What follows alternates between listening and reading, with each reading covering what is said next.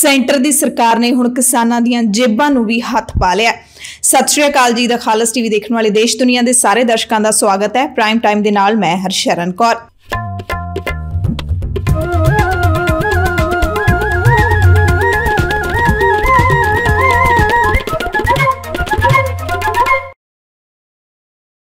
ਕੇਂਦਰ ਸਰਕਾਰ ਹੁਣ ਕਿਸਾਨਾਂ ਨੂੰ ਟੈਕਸ ਦੇ ਘੇਰੇ ਵਿੱਚ ਲਿਆਉਣ ਦੀ ਤਿਆਰੀ ਵਿੱਚ ਹੈ। ਸਰਕਾਰ ਦਾ ਨਵਾਂ ਫੈਸਲਾ ਲਾਗੂ ਹੋਣ ਤੇ ਕਿਸਾਨਾਂ ਨੂੰ ਸਾਲਾਨਾ ਰਿਟਰਨ ਭਰਨੀ ਪਿਆ ਕਰੇਗੀ। ਹੁਣ ਤੱਕ ਕਿਸਾਨਾਂ ਨੂੰ ਆਮਦਨ ਤੇ ਟੈਕਸ ਦੀ ਘੁੰਮਣ ਘੇਰੀ ਚੋਂ ਬਾਹਰ ਰੱਖਿਆ ਗਿਆ ਸੀ।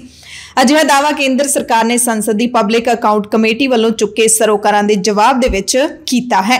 ਵੱਖ-ਵੱਖ ਮੰਤਰਾਲਿਆਂ ਦੀ ਜਵਾਬਦੇਹੀ ਤੈਅ ਕਰਨ ਲਈ ਬਣਾਈ ਸੰਸਦੀ ਕਮੇਟੀ ਨੇ ਪਿਛਲੇ ਹਫ਼ਤੇ ਸਰਕਾਰ ਨੂੰ ਖੇਤੀਬਾੜੀ ਤੋਂ ਹੋਣ ਵਾਲੀ ਆਮਦਨ ਰਾਹੀਂ ਟੈਕਸ ਚੋਰੀ ਨੂੰ ਲੈ ਕੇ ਫਿਕਰਮੰਦੀ ਪ੍ਰਗਟਾਈ ਸੀ।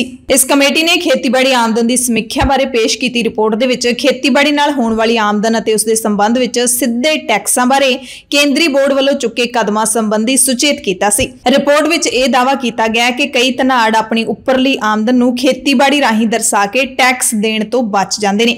ਤੇ ਹੁਣ ਇਸ ਕਮੇਟੀ ਨੇ ਖੇਤੀਬਾੜੀ ਤੋਂ ਹੋਣ ਵਾਲੀ ਆਮਦਨ ਨੂੰ ਤਿੰਨ ਸਲੈਬਾਂ 10 ਲੱਖ 50 ਲੱਖ ਤੇ 1 ਕਰੋੜ ਵਿੱਚ ਵੰਡਣ ਦੀ ਸਿਫਾਰਿਸ਼ ਕੀਤੀ ਹੈ।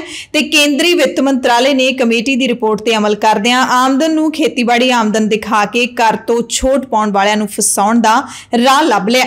ਅਸਲ ਦੇ ਵਿੱਚ ਬਹਾਨਾ ਤਾਂ ਲੱਭਿਆ ਗਿਆ ਕਿਸਾਨਾਂ ਦੀਆਂ ਜੇਬਾਂ ਨੂੰ ਕੁਤਰਨ ਦਾ। ਖੇਤੀਬਾੜੀ ਤੋਂ ਹੋਣ ਵਾਲੀ ਆਮਦਨ ਟੈਕਸ ਦੇ ਘੇਰੇ ਵਿੱਚ ਨਹੀਂ ਆਉਂਦੀ ਤੇ ਨਾ ਹੀ ਨਿੱਜੀ ਸਕੂਲ ਆਮਦਨ ਭਰਨ ਦੇ ਪਾਬੰਦ ਨੇ। ਹਾਲਾਂਕਿ ਏਸੀ ਬਿਲਡਿੰਗਾਂ ਦੇ ਵਿੱਚ ਬਹਿ ਕੇ ਸਰਕਾਰ ਦੇ ਨੱਕ ਹੇਠਾਂ ਇਹ ਨਿੱਜੀ ਸਕੂਲਾਂ ਵਾਲੇ ਪੂਰੀ ਲੁੱਟ ਮਚਾਉਂਦੇ ਨੇ। ਤੇ ਕਹਿ ਸਕਦੇ ਹਾਂ ਕਿ ਕੇਂਦਰ ਸਰਕਾਰ ਨੇ ਖੇਤੀ ਖੇਤਰ ਬਾਰੇ ਬਣਾਏ ਤਿੰਨ ਕਾਲੇ ਕਾਨੂੰਨਾਂ ਦੇ ਹਸ਼ਰ ਤੋਂ ਕੋਈ ਸਬਕ ਨਹੀਂ ਸਿੱਖਿਆ। ਸੈਂਟਰ ਦੀ ਸਰਕਾਰ ਲੱਗਦਾ ਕਿਸਾਨਾਂ ਤੋਂ ਬਦਲੇ ਲੈਣ ਦੇ ਵਿੱਚ ਕਾਲੀ ਹੋਈ ਪਈ ਹੈ। ਤੇ ਹੁਣ ਇਸੇ ਕਰਕੇ ਸਰਕਾਰ ਵੱਲੋਂ ਕਥਿਤ ਵੱਡੇ ਕਿਸਾਨਾਂ ਨੂੰ ਟੈਕਸ ਦੇ ਘੇਰੇ ਵਿੱਚ ਲਿਆਉਣ ਦੀ ਯੋਜਨਾ ਬਣਾਈ ਜਾ ਰਹੀ ਹੈ। ਕੁਝ ਦਿਨ ਪਹਿਲਾਂ ਹੀ ਮੰਡੀਆਂ 'ਚੋਂ 30 ਜੂਨ ਤੱਕ ਕਣਕ ਚੁੱਕਣ ਤੇ ਰੋਕ ਲਾ ਦਿੱਤੀ ਗਈ ਸੀ। ਸੌਣੀ ਦੀ ਫਸਲ ਸੰਭਾਲ ਵੇਲੇ ਵੀ ਕਈ ਤਰ੍ਹਾਂ ਦੇ ਅੜਿੱਕੇ ਡਾਹੇ ਜਾਂਦੇ ਰਹੇ। ਤੇ ਹੁਣ ਜਦੋਂ ਕਿਸਾਨਾਂ ਨੂੰ ਆਮਦਨ ਕਰ ਤੋਂ ਛੋਟ ਹੈ, ਤਾਂ ਸਰਕਾਰ ਵੱਡੇ ਕਿਸਾਨਾਂ ਦੇ ਬਹਾਨੇ ਖੇਤੀ ਖੇਤਰ ਨੂੰ ਆਮਦਨ ਕਰ ਦੇ ਘੇਰੇ ਵਿੱਚ ਲਿਆਉਣਾ ਚਾਹੁੰਦੀ ਹੈ। ਤੇ ਇਹ ਇੱਕ ਬੜੀ ਹੀ ਖਤਰਨਾਕ ਯੋਜਨਾ ਹੈ ਕਿਸਾਨਾਂ ਦੇ ਭਵਿੱਖ ਦੇ ਲਈ। ਅੱਜ ਭਾਵੇਂ ਵੱਡੇ ਕਿਸਾਨਾਂ ਨੂੰ ਆਮਦਨ ਟੈਕਸ ਦੇ ਘੇਰੇ ਵਿੱਚ ਲਿਆਂਦਾ ਜਾਵੇਗਾ, ਤਾਂ ਕੱਲ ਨੂੰ ਉਹ ਦਿਨ ਵੀ ਦੂਰ ਨਹੀਂ ਰਹਿਣਾ, ਜਦੋਂ ਛੋਟੇ ਕਿਸਾਨਾਂ ਨੂੰ ਵੀ ਟੈਕਸ ਭਰਨਾ ਪਿਆ ਕਰੂਗਾ।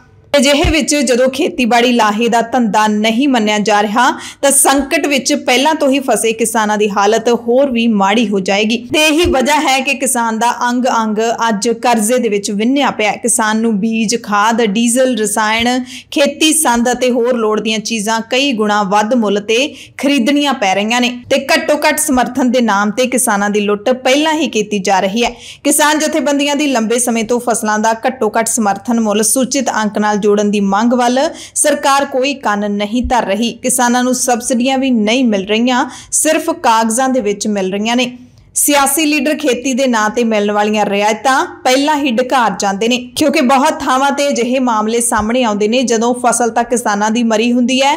ਉਹਨਾਂ ਦੇ ਕੋਲ, ਜਿਨ੍ਹਾਂ ਕੋਲ ਵਿਚਾਰੇ ਕਿਸਾਨਾਂ ਕੋਲ ਇੱਕ ਇੱਕ ਦੋ ਦੋ ਕਿੱਲੇ ਹੁੰਦੇ ਨੇ, ਉਹਨਾਂ ਨੂੰ ਜਿਹੜਾ ਨਿਗੂਣਾ ਜਾਂ ਮੁਆਵਜ਼ਾ ਮਿਲਦਾ ਮਿਲਣਾ ਹੁੰਦਾ ਹੈ, ਉਹ ਪਹਿਲਾਂ ਹੀ ਸਿਆਸੀ ਲੀਡਰ ਆਪਣੀਆਂ ਜੇਬਾਂ ਦੇ ਵਿੱਚ ਪਾ ਲੈਂਦੇ ਨੇ, ਕਿਉਂਕਿ ਤਰੀਕੇ ਬਹੁਤ ਅਪਣਾਏ ਜਾਂਦੇ ਨੇ। ਅਜਿਹੇ ਹਾਲਾਤਾਂ ਵਿੱਚ ਕਿਸਾਨਾਂ ਦੇ ਮੋਢਿਆਂ ਤੇ ਆਮਦਨ ਘਰ ਦਾ ਬੋਝ ਲੱਦਣਾ ਸਹੀ ਨਹੀਂ ਹੈ ਤੇ ਇਹ ਮੁੜ ਬਗਾਵਤ ਦਾ ਸੱਦਾ ਵੀ ਦੇ ਸਕਦਾ ਹੈ। ਕੇਂਦਰ ਸਰਕਾਰ ਨੇ ਸੰਸਦ ਦੀ ਪਬਲਿਕ ਅਕਾਊਂਟ ਕਮੇਟੀ ਦੇ ਵੱਲੋਂ ਚੁੱਕੇ ਸਰੋਕਾਰਾਂ ਦੇ ਜਵਾਬ ਦੇ ਵਿੱਚ ਕਿਸਾਨਾਂ ਨੂੰ ਹੋਰ ਰਗੜਨ ਦਾ ਫੈਸਲਾ ਲੈ ਲਿਆ ਪਰ ਬੜੇ ਅਫਸੋਸ ਦੀ ਗੱਲ ਹੈ ਕਿ ਅਰਥਸ਼ਾਸਤਰੀਆਂ ਵੱਲੋਂ ਕਿਸਾਨਾਂ ਦੀ ਮਾੜੀ ਵਿੱਤੀ ਹਾਲਤ ਬਾਰੇ ਛਪ ਰਹੀਆਂ ਰਿਪੋਰਟਾਂ ਵੱਲ ਧਿਆਨ ਹੀ ਨਹੀਂ ਗਿਆ ਤੇ ਨਾ ਹੀ ਤੰਗੀ ਤੁਰਸ਼ੀ ਕਾਰਨ ਆਪਣੀ ਜੀਵਨ ਲੀਲਾ ਖਤਮ ਕਰਨ ਵਾਲੇ ਕਿਸਾਨ ਪਰਿਵਾਰਾਂ ਦੇ ਵਹਿਣ ਸਰਕਾਰ ਦੇ ਕੰਨੀ ਪਏ ਨੇ। ਰਿਪੋਰਟ ਵਿੱਚ ਕਿਹਾ ਗਿਆ ਕਿ 2020-21 ਲਈ ਤਕਰੀਬਨ 21 ਲੱਖ ਟੈਕਸ ਭਰਨ ਵਾਲਿਆਂ ਨੇ ਆਪਣੀ ਖੇਤੀ ਆਮਦਨ ਦਾ ਦਾਅਵਾ ਕੀਤਾ ਹੈ, ਜਿਨ੍ਹਾਂ ਵਿੱਚੋਂ 60000 ਨੇ ਇਹ ਆਮਦਨ 10 ਲੱਖ ਤੋਂ ਵੱਧ ਦਿਖਾਈ ਹੈ। ਸੰਸਦ ਦੀ ਕਮੇਟੀ ਵੱਲੋਂ ਪ੍ਰਗਟਾਏ ਸਰੋਕਾਰਾਂ ਤੋਂ ਬਾਅਦ ਵਿੱਤ ਮੰਤਰਾਲੇ ਨੇ ਕਮੇਟੀ ਨੂੰ ਦਿੱਤੇ ਜਵਾਬ 'ਚ ਭਰੋਸਾ ਦਿਵਾਇਆ ਕਿ ਖੇਤੀ ਆਮਦਨ ਦਿਖਾ ਕੇ ਟੈਕਸ ਬਚਾਉਣ ਵਾਲਿਆਂ ਨੂੰ ਲੰਮੇ ਹੱਥੀ ਸਰਕਾਰ ਘੇਰੇਗੀ।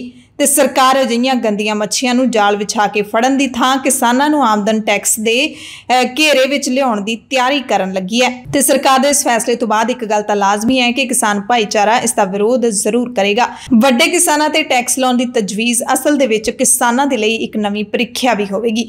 ਤੇ ਜੇ ਕਿਸਾਨਾਂ ਨੇ ਇਸ ਦੇ ਵਿਰੋਧ ਵਿੱਚ ਆਵਾਜ਼ ਨਾ ਚੁੱਕੀ ਤਾਂ ਹੌਲੀ-ਹੌਲੀ ਸਾਰੇ ਕਿਸਾਨ ਆਮਦਨ ਕਰ ਦੇ ਘੇਰੇ ਵਿੱਚ ਲਿਆਂਦੇ ਜਾਣਗੇ। ਸਰਕਾਰ ਨੂੰ ਇਹ ਯੋਜਨਾ ਲਾਗੂ ਕਰਨ ਤੋਂ ਪਹਿਲਾਂ ਕਿਸਾਨ ਜਥੇਬੰਦੀਆਂ ਨਾਲ ਵਿਚਾਰ ਵਟਾਂਦਰਾ ਕਰਨਾ ਚਾਹੀਦਾ ਹੈ, ਤਾਂ ਜੋ ਤਿੰਨ ਕਾਲੇ ਖੇਤੀ ਕਾਨੂੰਨਾਂ ਵਾਲਾ ਪੇਚਾ ਮੁੜ ਨਾ ਪੈ ਜਾਵੇ। ਉਂਝ ਦੇਸ਼ ਦੇ ਪ੍ਰਧਾਨ ਮੰਤਰੀ ਨਰਿੰਦਰ ਮੋਦੀ ਅਤੇ ਉਹਨਾਂ ਦੇ ਸਾਥੀ ਮੰਤਰੀਆਂ ਤੋਂ ਅਜਿਹੀ ਆਸ ਨਹੀਂ ਰੱਖਣੀ ਚਾਹੀਦੀ, ਕਿਉਂਕਿ ਕੇਂਦਰ ਤਾਂ ਤਿੰਨ ਖੇਤੀ ਕਾਨੂੰਨ ਮੁੜ ਤੋਂ ਲਾਗੂ ਕਰਨ ਦੇ ਹੁਕਮ ਨੀਤੀ ਆਯੋਗ ਦੇ ਮੂੰਹ ਵਿੱਚ ਪਾਉਣ ਲੱਗਿਆ ਇਸ ਖਬਰ ਦੇ ਨਾਲ ਨਾਲ ਪ੍ਰਾਈਮ ਟਾਈਮ ਦੇ ਵਿੱਚ ਅਸੀਂ ਤੁਹਾਨੂੰ ਇਹ ਵੀ ਦੱਸ ਦਿੰਨੇ ਆ ਕਿ ਹਾੜੀ ਦੀ ਇਸ ਫਸਲ ਨੇ ਕਿਸਾਨਾਂ ਦੀਆਂ ਉਮੀਦਾਂ ਤੇ ਪਾਣੀ ਫੇਰ ਦਿੱਤਾ ਹੈ। ਕੜਾਕੇ ਦੀ ਪਈ ਠੰਡ ਤੋਂ ਬਾਅਦ ਗਰਮੀ ਦੇ ਇੱਕਦਮ ਜ਼ੋਰ ਫੜ ਲੈਣ ਕਰਕੇ ਕਣਕ ਦਾ ਦਾਣਾ ਉੱਥੇ ਹੀ ਸੁੱਕ ਗਿਆ। ਖੇਤੀ ਮਾਹਿਰਾਂ ਮੁਤਾਬਿਕ ਇਸ ਵਾਰੀ ਕਣਕ ਦਾ ਝਾੜ 25% ਘਟਣ ਦਾ ਅੰਦਾਜ਼ਾ ਹੈ। ਨਵਾਂ ਸ਼ਹਿਰ ਦੇ ਇੱਕ ਕਿਸਾਨ ਜਸਵੀਰ ਸਿੰਘ ਮੁਤਾਬਿਕ ਪਿਛਲੇ ਸਾਲ ਤੱਕ 1 ਏਕੜ ਚੋਂ 25 ਕੁਇੰਟਲ ਝਾੜ ਝੜਦਾ ਰਿਹਾ ਹੈ, ਪਰ ਇਸ ਵਾਰੀ 14 ਕੁਇੰਟਲ ਤੋਂ ਉੱਤੇ ਨਹੀਂ ਜਾ ਰਿਹਾ। ਇੱਕ ਹੋਰ ਕਿਸਾਨ ਕਰਨ ਸਿੰਘ ਨੇ ਤਾਂ ਇੱਥੋਂ ਤੱਕ ਕਹਿ ਦਿੱਤਾ ਹੈ ਕਿ ਉਹਨਾਂ ਦਾ ਮਨ ਖੇਤਾਂ ਵੱਲ ਜਾਣ ਤੋਂ ਵੀ ਹੁਣ ਡਰਨ ਲੱਗਿਆ। ਸੋ ਜਿਹੇ ਹਾਲਾਤਾਂ ਦੇ ਵਿੱਚ ਇੱਕ ਪਾਸੇ ਕਿਸਾਨ ਲਈ ਆਪਣੇ ਪਰਿਵਾਰ ਦਾ ਢਿੱਡ ਭਰਨਾ ਮੁਸ਼ਕਲ ਹੋ ਰਿਹਾ ਹੈ ਤੇ ਦੂਜੇ ਪਾਸੇ ਕੇਂਦਰ ਸਰਕਾਰ ਕਿਸਾਨਾਂ ਨੂੰ ਬੁਰੀ ਤਰ੍ਹਾਂ ਰਗੜਨ ਲੱਗੀ ਹੈ। ਇਸ ਹਾਲਾਤ ਵਿੱਚ ਕਿਸਾਨਾਂ ਕੋਲ ਕਰੋ ਜਾਂ ਮਰੋ ਦੀ ਨੀਤੀ ਹੀ ਬਚ ਰਹੀ ਹੈ। ਦਮਾਮੇ ਮਾਰ ਕੇ ਮੇਲੇ ਆਉਣ ਜਾਣ ਵਾਲੇ ਜੱਟ ਦੇ ਘਰ ਵਿੱਚੋਂ ਅੱਜ ਢੋਲ ਦੇ ਡੱਗੇ ਦੀਆਂ ਆਵਾਜ਼ਾਂ ਵੀ ਗਾਇਬ ਨੇ। ਸੋ ਅਸੀਂ ਅਰਦਾਸ ਹੀ ਕਰ ਸਕਦੇ ਹਾਂ ਕਿ ਜਿਹੜਾ ਅੰਨਦਾਤਾ ਪੂਰੀ ਦੁਨੀਆ ਦਾ ਢਿੱਡ ਭਰਦਾ ਹੈ, ਜੇ ਖੇਤਾਂ ਵਿੱਚ ਅੰਨ ਉਗਦਾ ਹੈ, ਤਾਂ ਹੀ ਪੂਰੀ ਦੁਨੀਆ ਦੇ ਢਿੱਡ ਦੇ ਵਿੱਚ ਕੋਈ ਨਾ ਕੋਈ ਖਾਣ ਵਾਲੀ ਚੀਜ਼ ਜਾਂਦੀ ਹੈ। ਉਹ ਅੰਨਦਾਤਾ ਇਹਨਾਂ ਮੁਸੀਬਤਾਂ ਦੇ ਵਿੱਚੋਂ ਨਿਕਲ ਜਾਵੇ, ਸਰਕਾਰਾਂ ਦੇ ਮਨ ਵਿੱਚ ਦਇਆ ਆਵੇ ਅਤੇ ਕਿਸਾਨਾਂ ਦੀਆਂ ਮੁਸ਼ਕਲਾਂ ਨੇ ਜਿਹੜੀਆਂ ਉਹ ਵਧਾਉਣ ਦੀ ਥਾਂ ਘਟਾਉਣੀਆਂ ਸ਼ੁਰੂ ਹੋ ਜਾਣ। ਪ੍ਰਾਈਮ ਟਾਈਮ ਦੇਖਣ ਵਾਲੇ ਦਰਸ਼ਕਾਂ ਦਾ ਧੰਨਵਾਦ।